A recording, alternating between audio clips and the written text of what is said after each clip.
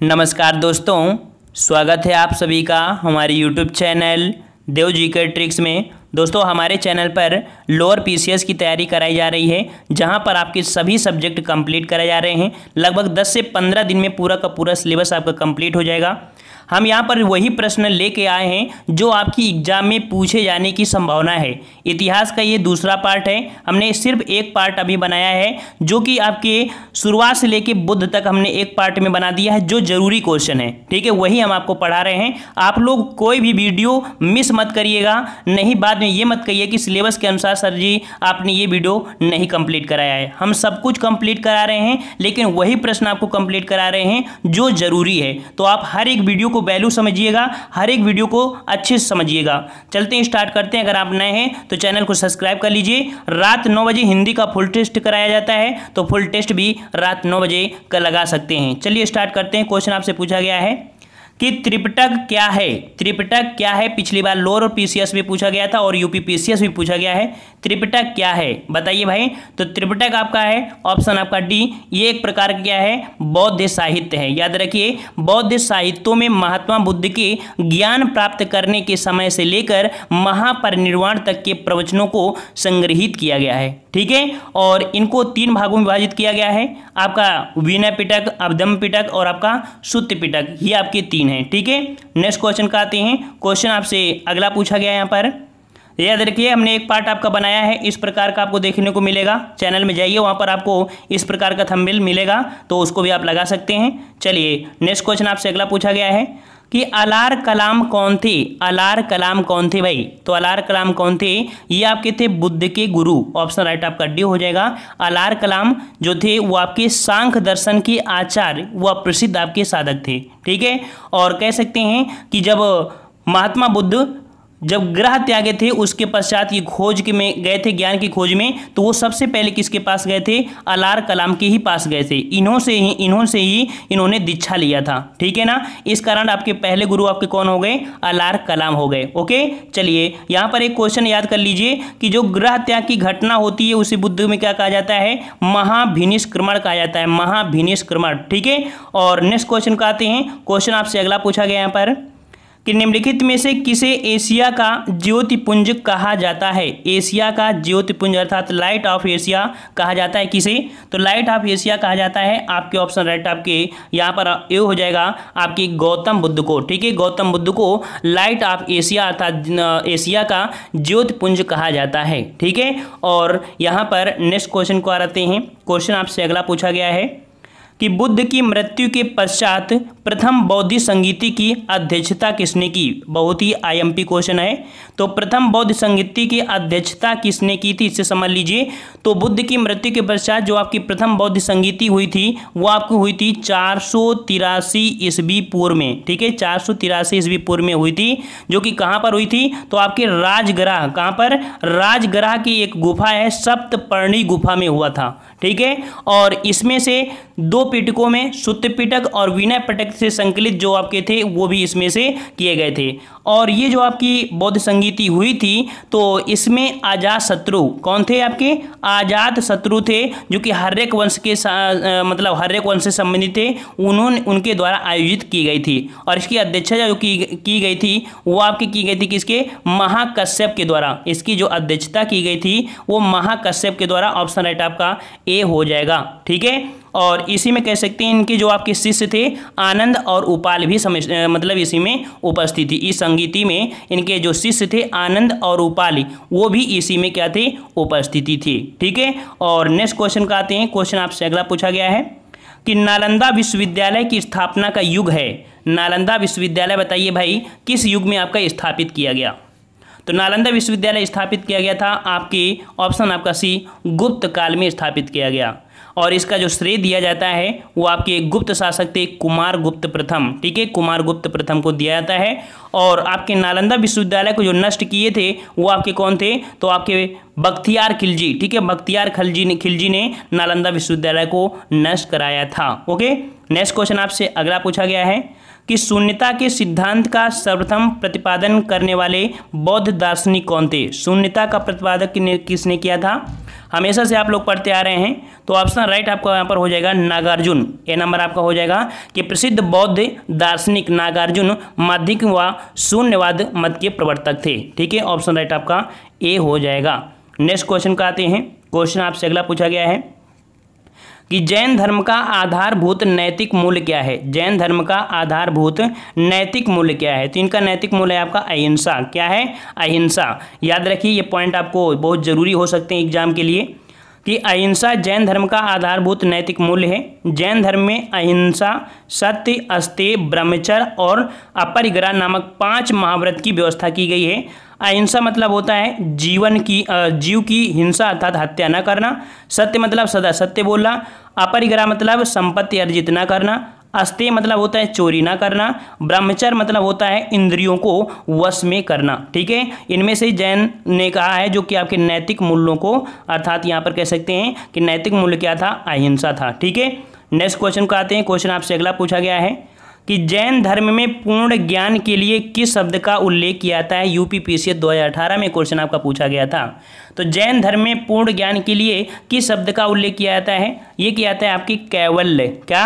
Caval अर्थात जैन धर्म में पूर्ण ज्ञान जिसको हो जाता है तो उसको बोला जाता है कैवल्य कह सकते हैं मोक्ष की प्राप्ति। ठीक है? मोक्ष की प्राप्ति। याद रखिए, महावीर जो स्वामी थे वह आपके जैन धर्म के चौबीसवें तीर्थकर थे और इनको 12 वर्ष की कठोर तपस्या के बाद जम्बिक ग्राम में रिजपालिका नदी के किनारे साल वृक्ष के नीचे इनको ज्ञान की प्राप्ति हुई थी। ओके?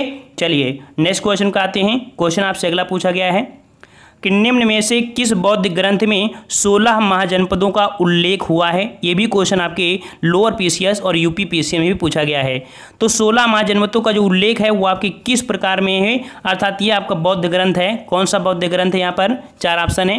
राइट आंसर आपका हो जाएगा यहाँ पर ए नंबर अंगुत्तर निकाय में। किसमें? बौद्ध ग्रंथ आपका है, अंगुत्तर निकाय में। महावर्ष एवं कह सकते हैं, जैन ग्रंथ भगवती सूत्र में सोलह महाजनपदों का उल्लेख मिलता है। ठीक है? और एक पॉइंट याद रखना कि सोलह महाजनपदों में सबसे शक्तिशाली कौन था? तो सोलह महाजनपदों में सबसे शक्तिशाली आपका जो साम्राज्य था, वो आपका था मगध साम्राज्य, ठीक है? मगध। एक क्वेश्चन आपका ये है कि सोलह महाजनपदों में एक ऐसा आपका जनपद था जो दक्षिण भारत में गोदावरी नदी के तट पर था। वो कौन था आपका? उसका नाम है आपका असमक। क्या नाम है? आपका असमक नाम है। याद रखिए, एकमात्र ऐसा सोलह महाजनपदों में जो दक्षिण भारत में गोदावरी नदी के किनारे स्थित था। ओके, चलिए, नेक्स्ट क्वेश्चन का आते हैं। क्वेश्चन आपसे अगला पूछा है।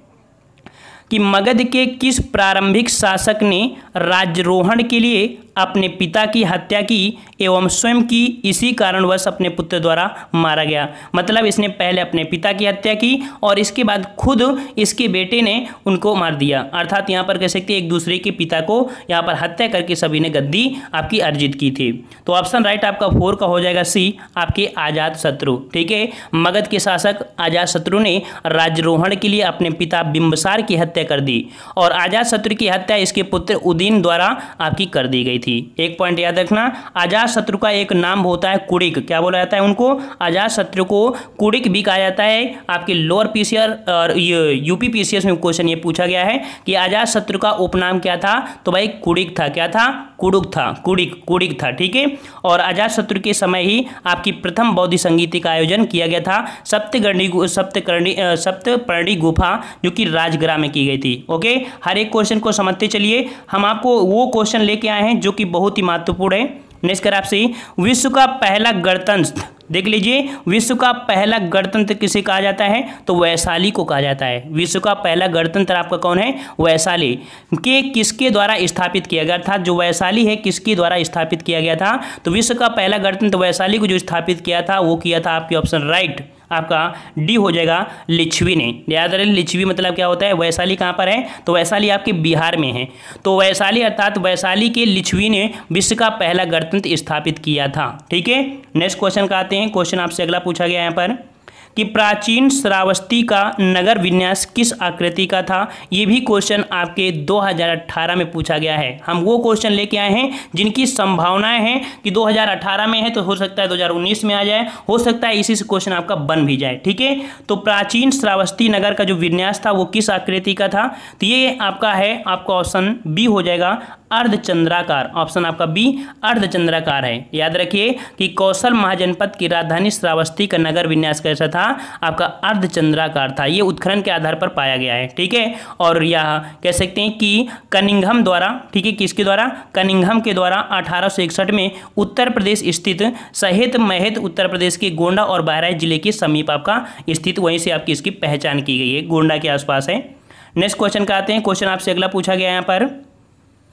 कह रहा आपसे कि मालवा क्षेत्र पर मगध की सत्ता का विस्तार निम्न से किसके शासनकाल में हुआ था? क्वेश्चन फिर से पढ़िए कि मालवा क्षेत्र पर मगध की सत्ता पर विस्तार निम्न से किसके शासनकाल में हुआ था? तो बताइए भाई, मालवा क्षेत्र पर जो सत्ता स्थापित किया था, वो किसके शासनकाल में हुआ था? ये हुआ था आपकी शिशुनाग के समय में। याद रखिएगा कि पुराणों के अनुसार मगध नरेश शिशुनाग ने अवंती नरेश चंड प्रघोष को पराजित प्रा, मतलब पराजित कर अवंती अर्थात मालवा को साम्राज्य में मिला लिया था।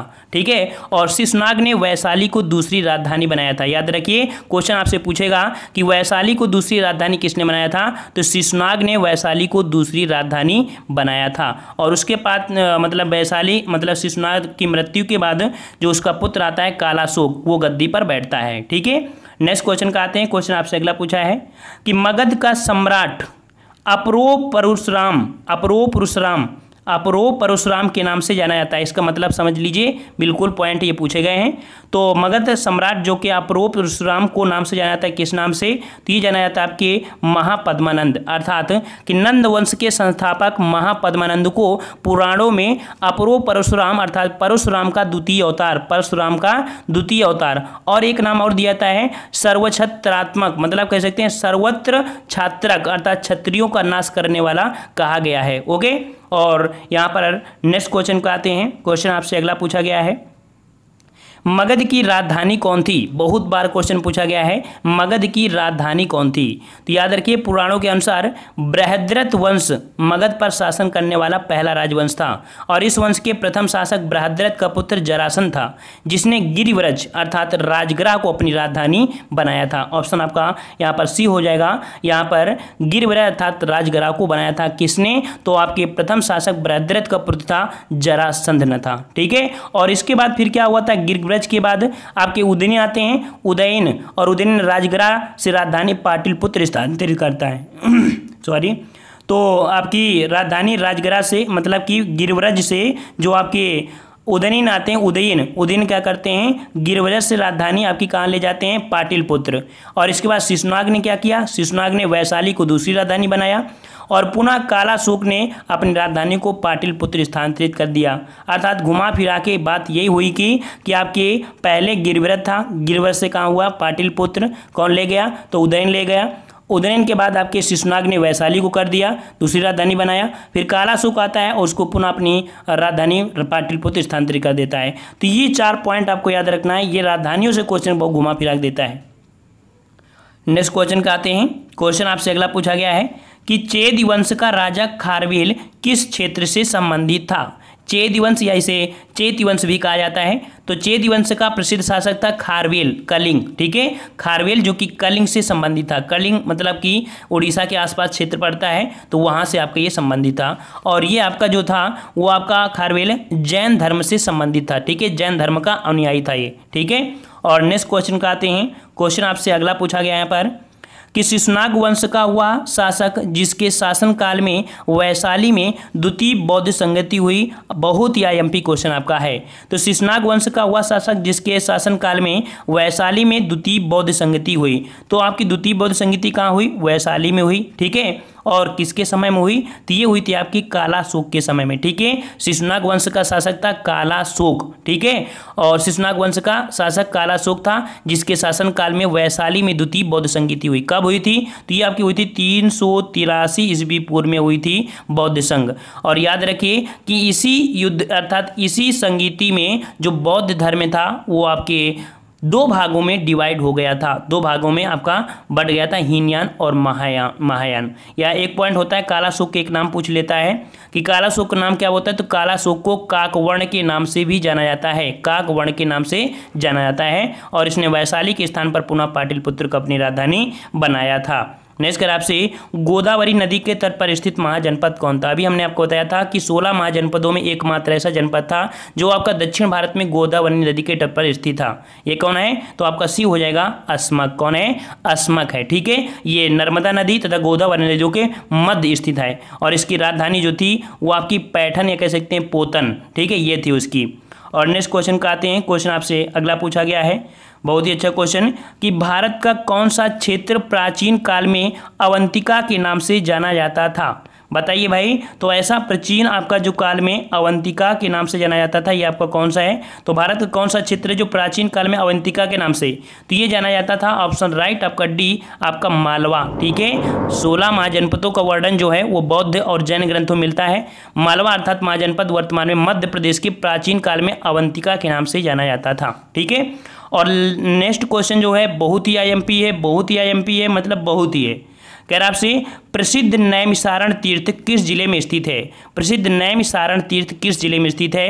तो ये यूपी स्पेशल का क्वेश्चन है। ये स्थित है आपके उत्तर प्रदेश के सीतापुर में, ठीक है? प्रसिद्ध नैमिसारण तीर्थ उत्तर प्रदेश के सीतापुर ज़िले में गोमती नदी के तट में स्थित। यहाँ पर आपकी एक जगह है सो आ, मतलब एक अमावस्या होती है सोमवती। कौन सी अमावस्या? सोमवती। सोमवती अमावस्या को यहाँ पर मेला लगता है। कहाँ पर? सीतापुर में नैमिसारण में। पौराणिक मान्यताओं के अनुसार कहा जाता है कि यहाँ पर आपके अट्ठासी हज़ार ऋषियों ने एक साथ तपस्या की थी और महाभारत में भी इसका उल्लेख सघन वन के रूप में किया गया है। और इसी के समीप, इसी के समीप आपके मिस्क्रिक नामक एक महास दलीज का आश्रम भी बना हुआ है। ठीक है? चलिए नेक्स्ट क्वेश्चन का आते हैं। क्वेश्चन आपसे अगले पूछा गया है कि प्रथम भारतीय राज्य किसने स्थापित किया था? ये क्वेश्चन आपका पूछा गया था। काफ़ी बच्चों ने गलत यहाँ पर जवाब दिया था। प्रथम भारतीय साम्राज्य किसने स्थापित किया था? तो ये स्थापित किए थे आपके ऑप्शन राइट आपके सी आपके चंद्रगुप्त मौर्य। याद रखिए, चंद्रगुप्त मौर्य भारत का प्रथम ऐतिहासिक सम्राट था। चंद्रगुप्त मौर्य का जो जन्म हुआ था, वो आपका हुआ था 340 ईस्वी पूर्व में पाटिलपुत्र अर्थात बिहार में हुआ था। और चंद्रगुप्त मौर्य ने लगभग आपके 322 ईस्वी पूर्व में अपने गुरु विष्णुगुप्त अथवा चाणक्य, या कह सकते हैं कौटिल्य की सहायता, कौटिल्य की सहायता से मगध साम्राज्य के अंतिम शासक थे घनानंद। तो घनानंद को पराजित कर मौर्य साम्राज्य की स्थापना किया था। ठीक है? और इनकी जो राजधानी थी, वो क्या थी? तो इसकी राजधानी पाटिलपुत्र बनाई गई और इसने मगध पर 24 वर्ष तक शासन किया था और भारत को सर्वप्रथम राजनीतिक रूप में एकबद्ध किया। ठीक है? और नेक्स्ट क्वेश्चन का आते हैं। क्वेश्चन आपसे अगला पूछा गया है कि सैंडो कोट्स की चंद्रगुप्त मौर्य के रूप में पहचान किसने की थी? ये क्वेश्चन आपके लोअर पीसीएस ने यूपी पीसीएस में क्वेश्चन आपका पूछा गया है, ठीक है? तो हम आपको यहाँ पर यूपी पीसीएस लेवल से लेकर आपके पढ़ा रहे हैं, ताकि आपको अगर यूपी पीसीएस का पेपर देने जाएँगे तो एक बार मात्र एक बार इस वीडियो को देख लीजिएगा, लगभग क्वेश्चन आपको फंसने के यहाँ पर हंड्रेड परसेंट चांस होंगे। तो सैंड्रो कोर्स की चंद्रगुप्त मौर्य के रूप में जो पहचान की थी किसने किया था?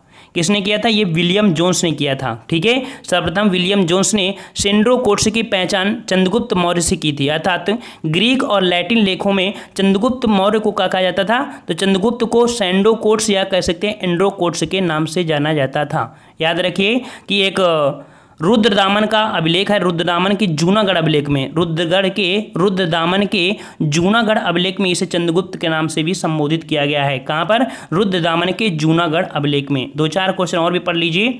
कर आपसे चंद्रगुप्त मौर्य के पश्चात सिंहासन पर कौन बैठा था? चंद्रगुप्त मौर्य के बाद सिंहासन सिंहासन पर कौन बैठा था? तो ये बैठे थे आपके बिंदुसार कौन बैठे थे? बिंदुसार बिंदुसार ठीक है? चंद्रगुप्त मौर्य ने यहाँ से चंद्रगुप्त के बारे में समझ लीजिए क्वेश्चन पूछा पूछा जा सकता है। देखिए, चंद्रगुप्त मौर्य ने जैन मुनि भद्रबाहु से जैन धर्म की दीक्षा ली और श्रवण बेलगोला अर्थात मैसूल चला गया, जहाँ पर आपकी दो सौ अट्ठानवे ईस्वी पूर्व में उपवास पद्धति द्वारा शरीर त्याग दिया था। याद रखिए, जैन धर्म में उपवास द्वारा अर्थात जैन धर्म में जो कह सकते हैं मृत्यु को, या कह सकते हैं उसे संलेखना विधि द्वारा, या संथारा विधि द्वारा कहा जाता है, जब वो अपने मृत्यु अर्थात प्राण त्यागते हैं। ठीक है, उपवास को द्वारा उसे संलेखना विधि कहा जाता है, संलेखना। ठीक है? और इनकी मृत्यु के पश्चात इनका पुत्र बिंदुसार गद्दी पर बना था। ठीक है? और नेक्स्ट क्वेश्चन का आते हैं। क्वेश्चन आपसे आए कि चंद्रगुप्त मौर्य का साम्राज्य उत्तर पश्चिम में कहाँ तक था? तो चंद्रगुप्त मौर्य का जो साम्राज्य उत्तर पश्चिम में था, वो आपका कहाँ था? तो ये था आपके हिंदकुश पर्वत तक। ऑप्शन आपका डी हो जाएगा। हिंदकुश पर्वत तक था इनका। मतलब कि विसेंट के अनुसार बताया हिंदकुश, अर्थात ये पर्वत भारत की प्राकृतिक सीमा निर्धारित करता है। ठीक है, यहाँ तक आपकी थी उत्तर पश्चिम में ईरान, फारस से लेकर पूर्व में बंगाल, कश्मीर, सभी दूरी तक थे। मतलब काफ़ी दूर था इनका साम्राज्य। नेक्स्ट क्वेश्चन आपसे अगला पूछा गया है कि सेल्यूकस जिनको अलेक्जेंडर द्वारा सिंध व अफ़गानिस्तान का प्रशासक नियुक्त किया गया था, को किस भारतीय राजा ने पराजित किया था? देख लीजिए, काफ़ी अच्छा क्वेश्चन है। सेल्यूकस जिनको अलेक्जेंडर द्वारा सिंध व अफ़गानिस्तान का प्रशासक नियुक्त किया गया था, को किस भारतीय राजा ने पराजित किया? तो सेल्यूकस निकोटर को किसने पराजित किया था? ये किए थे आपके ऑप्शन राइट आपका हो जाएगा यहाँ पर डी नंबर चंद्रगुप्त मौर्य ने। ठीक है? किसने? सिकंदर के सर्वाधिक योग्य सेनापति थे आपके सेल्यूकस निकेटर। ठीक है? और सेल्यूकस ने उनकी अर्थात सिकंदर की मृत्यु के बाद सेल्यूकस ने उनकी मृत्यु के बाद सिकंदर द्वारा विजित प्रदेश अर्थात कह सकते हैं सिकंदर चाहता था कि हम पूरे विश्व को अपने अंडर में कर ले, लेकिन सिकंदर की मृत्यु के बाद उनका सेनापति था आपका सेल्यूकस इसने दोबारा ये राज्यों को जीतने की फिर से एक लालसा की, बाद में चंद्रगुप्त मौर्य के हाथों उसको पराजित होना पड़ा था, ठीक है? और उसने सेल्यूकस की पुत्री से विवाह भी किया। चंद्रगुप्त मौर्य जो थे, वो आपके हेलना हेलना कौन थी? हेलना। हेलना ये थी सेल्यूकस निकेटर के पुत्री। तो चंद्रगुप्त मौर्य ने पहली बार इंटरनेशनल शादी हुई थी हेलना से, जो कि चंद्रगुप्त मौर्य ने किया था। और कह सकते हैं कि हेरात, कंधार व मकरान काबुल प्राप्त कर लिया था आपके चंद्रगुप्त मौर्य ने। और चंद्रगुप्त मौर्य ने उनको सिल्यूकस निकेटर को 500 हाथी उपहार में दिया था, ठीक है? और कहा जाता है कि चंद्रगुप्त मौर्य के पास छः लाख सेना थी छः लाख सेना थी, ठीक है? नेक्स्ट कर आपसे कि प्राचीन भारत में कौन सी एक लिपि लिपि दाई ओर से बाई ओर अर्थात इधर से लिखी जाती थी ठीक है? ऐसे लिखी जाती जैसे आ, मतलब कि दाई ओर से बाई ओर लिखी जाती थी ये आपकी लिपि कौन सी है? तो ये लिपि आपकी ऑप्शन छः का हो जाएगा यहाँ पर डी नंबर खरोष्ठी लिपि। खरोष्ठी लिपि दाई से बाई ओर लिखी जाती थी ठीक है? और नेक्स्ट क्वेश्चन आते हैं क्वेश्चन आपसे अगला पूछा गया है यहाँ पर। चंद्रगुप्त मौर्य के दरबार में भेजा गया यूनानी राजदूत कौन था? तो चंद्रगुप्त मौर्य के दरबार में भेजा गया यूनानी राजदूत कौन था? ये राजदूत था आपका ऑप्शन सी मेगास्थनीज कौन था? मेगास्थनीज था, याद रखिएगा, जो कि सेल्यूकस निकेटर ने मेगास्थनीज नामक राजदूत को भेजा था। ठीक है? नेक्स्ट क्वेश्चन को आते हैं। क्वेश्चन आपसे अगला पूछा गया यहाँ पर कि बिंदुसार ने अशोक को किस विद्रोह को समाप्त करने के लिए भेजा था? बिंदुसार ने अशोक को किस विद्रोह को समाप्त करने के लिए भेजा था? तो यहाँ पर आपका हो जाएगा ऑप्शन यहाँ पर हो जाएगा कौन सा? आठ का हो जाएगा बी आपके तक्षशिला। याद रखिए कि बौद्ध धर्म ग्रंथ विद्वा विद्वादान से ज्ञात होता है कि बिंदुसार के समय तक्षशिला में दो विद्रोह हुए थे जिनको दमन करने के लिए बिंदुसार ने एक बार अशोक को तथा एक बार सु, सुसीम को भेजा था। ठीक है? तो यहाँ पर कहाँ हुए थे? तक्षशिलम विद्रोह हुए थे। ठीक है? और इसके बाद यहाँ पर लास्ट क्वेश्चन आपके लिए आ गया है। कि सारनाथ स्तंभ का निर्माण किसने करवाया था? सारनाथ स्तंभ का निर्माण किसने करवाया था? इस प्रश्न का जवाब आपको कमेंट बॉक्स में कमेंट करके बताना है। साथ में अगर आप लोअर पीसीएस एग्ज़ाम की तैयारी या जूनियर असिस्टेंट की तैयारी कर रहे हैं, ठीक है? तो आप लोग हमारे दूसरे चैनल ऑनलाइन एग्ज़ाम मिशन को सब्सक्राइब कर सकते हैं। वहाँ पर आपको daily top twenty question current affair के लाए जाते हैं, जो कि चुने हुए प्रश्न होते हैं। यकीन करिए, एक बार वीडियो देख देखिए, उसमें आपको विश्वास हो जाएगा और करंट अफेयर आपकी वहीं से देखने को मिलेगी। ऑनलाइन एग्जामिशन आप लोग सर्च कर सकते हैं, ठीक है? तो आज की वीडियो में इतना ही। हम लोग मिलते हैं एक नए वीडियो में। धन्यवाद। जय हिंद, जय भारत।